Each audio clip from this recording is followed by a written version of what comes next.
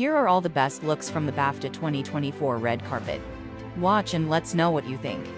Best Actress nominee Margot Robbie stays on brand with pastel pink and plenty of shimmer, plus full-length black gloves, which are having a moment.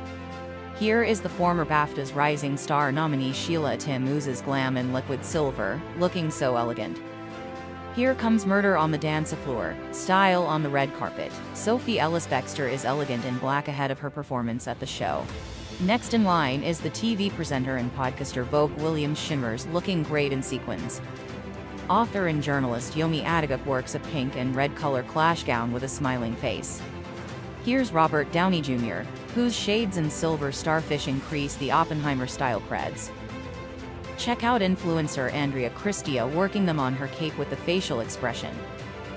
Da'Vine Joy Randolph in sweeping peach and black, and new blonde locks plus elbow-length black glove.